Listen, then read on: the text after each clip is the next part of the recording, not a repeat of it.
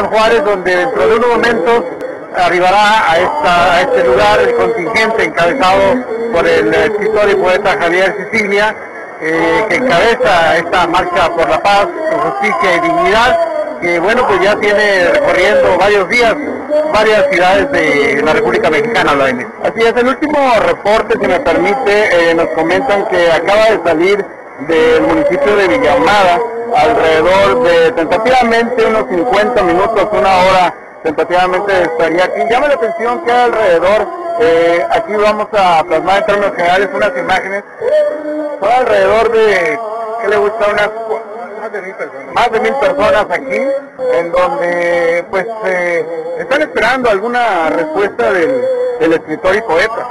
Así es, y bueno, pues vemos muchas muestras de, de aceptación a este movimiento por la paz. Vemos varias pancartas como esta que dice ya estamos eh, hartos. A,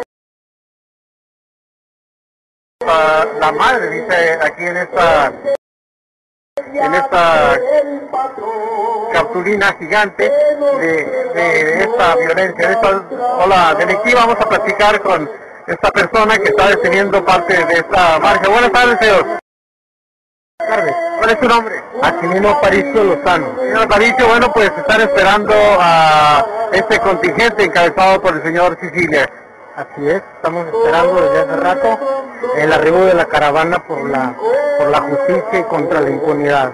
¿Qué opina usted de este movimiento nacional? Es un movimiento en el cual todos los juarenses debemos unirnos, todo el pueblo de México debemos unirnos para terminar con la impunidad y terminar con esta ola de crímenes. En este momento se respira mucho dolor de tantas víctimas que han sido eh, tocadas por la violencia, pero también hay esperanza. Mucho dolor, mucha injusticia y esperamos que eh, el pueblo se una para que sea mucha la gente la que pida que termine este esta esta esta situación de violencia. Muchas gracias, señora Aparicio, y bueno, pues estamos pendientes de este movimiento, de este arribo del señor Así es, así estamos esperando lo que llegue toda la caravana. Gracias, y bueno, Vladimir, vas a platicar también con otra persona. Así es, gracias, licenciado. Buenas tardes, aquí tenemos otra de las personas que está esperando al poeta escritor. buenas tardes. ¿cuál es su comentario? ¿Qué es lo que espera aquí? Que espero que se nos mueva la conciencia a los parenses, que hagamos algo, que exijamos justicia, que queremos paz. Eso es lo que espero. ¿Usted, cómo, cuál es su nombre y, con quién viene? ¿A quién representa? Me llaman a Guadalupe Romero y vengo sola. No necesito una organización para manifestarme. ¿Por qué esa cruz? ¿Por qué traes? Porque es la cruz que carga mi estado revolcado, maltratado, humillado, ofendido y esta es la cruz de sangre que nos toca cargar en este tiempo. El poeta escritor Javier es para ustedes, ¿qué representa? ¿Qué es lo que esperan de él? Es un icono, es un icono que nos puede ayudar a, a unificar criterios, a organizarnos para hacer acciones para restablecer la paz, no solamente en Ciudad Juárez ni en nuestro estado, sino en el país. Muy amable, gracias. Allá lo ve usted, licenciado, otra de las personas que se une a esta, a esta causa. Y pues aquí vemos las imágenes, creo que las imágenes hablan más que mil palabras, en este sentido vemos diferentes organizaciones que se siguen sumando, siendo las 7 con 10 aproximadamente aquí en la glorieta del kilómetro 20.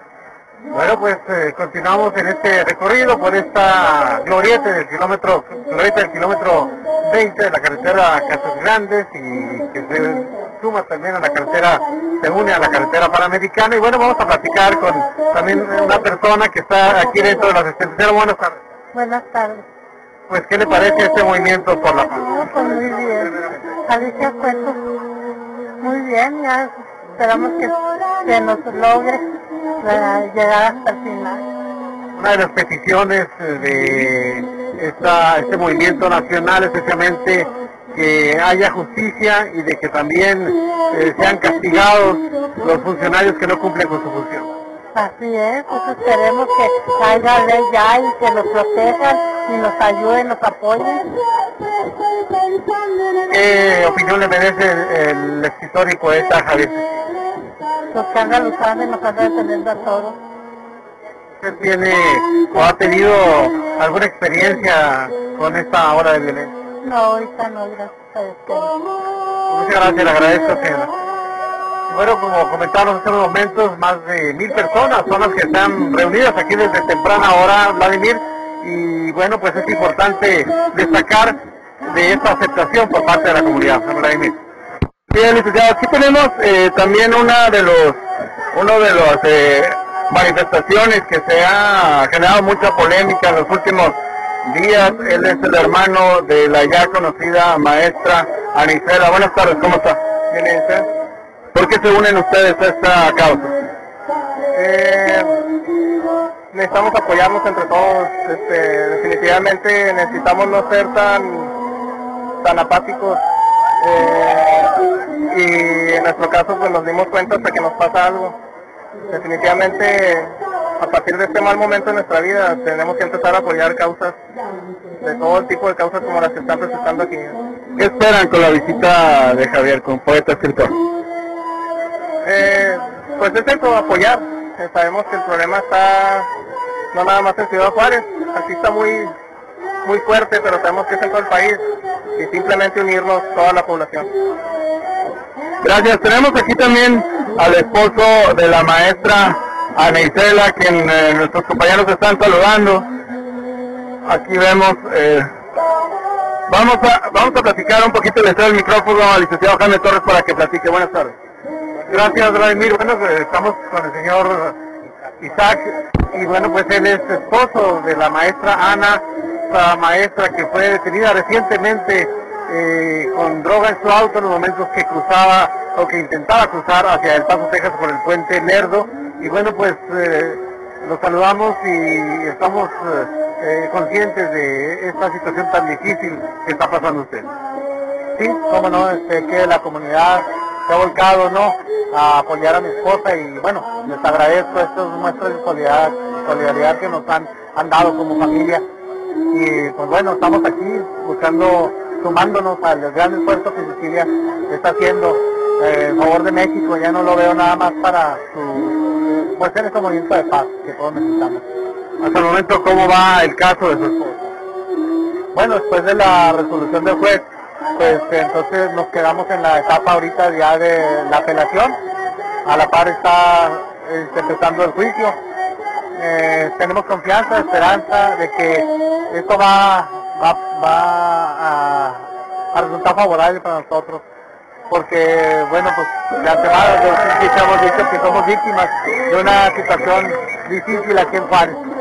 Así es, y así como ustedes son víctimas, también es víctima el señor Sicilia, el escritor y poeta, que viene ya en camino y que dentro de unos momentos arribará a este lugar. ¿Qué opinión tiene de este movimiento nacional? Bueno, del movimiento pienso que es necesario, urgente, por las diferentes ramas que esto lo veamos. Tenemos este, muchas eh, áreas de oportunidad para poder trabajar como, como so- sociedad. Y ahorita veía a estas, eh, por aquí a las madres de familia, de mujeres desaparecidas. Y al igual que Cecilia, pues perdió un hijo. Y cuando se pierden las cosas, ya, mientras haya vida hay esperanza. De esa manera ya no, no, no. eh, en mi caso yo puedo hasta ahorita ver a mi esposa y sé dónde está, ¿no? Pobres de aquellas familias que realmente pues, ya no tienen mucha esperanza. Entonces para mí es un poco más fácil, me reconforta saber que eso va a suceder, eh, primeramente Dios. Le agradezco mucho sus comentarios y estamos muy pendientes del seguimiento de su caso. Le agradezco a usted. Bueno, y ahora mi compañero Vladimir de Trexi se encuentra precisamente con eh, un grupo de personas eh, que tienen desafortunadamente este problema de la desaparición de sus familiares. Y bueno, Vladimir, tú platicas con ellos. Gracias, licenciado. Eh, así es, eh, tenemos aquí enfrente las imágenes de varias eh, familiares de mujeres, de niñas que han, eh, pues están desaparecidas. Vamos a platicar con una de ellas a ver qué es lo que, por qué se unen a esta marcha. Muy buenas tardes. Buenas tardes. ¿Cuándo desapareció su familiar y quién fue? Es Cintia Jocabet Castañeda Alvarado, desapareció Bueno. el 24 de octubre del 2008. Este, desapareció de ahí del lugar del bueno, centro. Tenemos ahora la participación Ah, de una maestra ahorita- hasta ahorita el momento, pedido No han con un tenido micrófono para una respuesta. unas palabras. Nuestra Vamos a esperanza es estar aquí en este lugar con la esperanza de que nos ayuden, a compartir que nos apoyen a localizarlas. Eh, somos un... Buenas tardes, queridos. Somos un grupo de madres las que estamos eh, pasando por lo mismo. Por ese grupo de madres que somos, estamos dispuestas a seguir luchando, a seguir eh, buscándolas, no descansar hasta que nosotros los demás podamos saber algo de ellas, podamos encontrarlas, que estamos dispuestas a, a estar unidas, unidos, y seguir buscándolas y no nos cansaremos de hacerlo Gracias, señora. Bueno, tenemos los micrófonos a nuestro compañero, el licenciado Jaime Torres, todavía va a platicar con otra de mujeres desaparecidas. Bueno, gracias, Vladimir. Y bueno, ahora vamos con la señora Luz María Dávila, esta madre de familia que perdió desafortunadamente a sus dos hijos jovencitos en este, en, en lo que fue una tragedia, considerada como una tragedia, cuando un comando armado irrumpió en una vivienda cuando ellos eh, celebraban y participaban en una fiesta. Y bueno, señora, usted, buenas tardes, señora. Bueno, pues entendemos su dolor y usted será la persona que dé el recibimiento al escritor Sicilia. Gracias, señor Juárez. Gracias, conciudadanos. ¿Qué significa para usted ese momento? Quiero a Juárez. Amo a Juárez. Amo a los que luchan por ella. Gracias. Está mucho y muy emotivo, ¿verdad? Fuerte el aplauso. Fuerte el aplauso para esas palabras sencillas de una maestra, una educadora. Que Levantar la voz junto con a nosotros. los jóvenes y que hoy Contrario a lo que a usted hizo con el A presidente de la República, usted sí le da la bienvenida, a señor en esta lucha. Claro que sí. Juárez se formó ¿Cómo han sido con cientos de miles de mexicanos eh, luego de la pérdida de manera sus hijos? legal, Ha sido muy difícil. de manera bien habida. Hemos venido a ocupar un espacio en este, esta parte de la patria. Y que nos duele ver cómo pasan cómo se destruye la el patrimonio, la y- la heredad de los mexicanos que hemos engrandecido estas tierras del norte. ¿Qué le del país. representa este movimiento nacional? Unas pequeñas palabras representa de la compañera, la compañera Angélica, que nos ha cantado dos canciones, pero esta canción pide que los- la escuchemos. no va a ser una canción, pide que la escuchemos porque tiene algo que compartir con nosotros. y que la gente se una también. ¿Cómo va a ser el procedimiento, el protocolo de recibimiento al señor Sicilia? ¿Qué es lo que va a pasar una vez que él arribe aquí? Y siempre he trabajado por la paz para el mundo.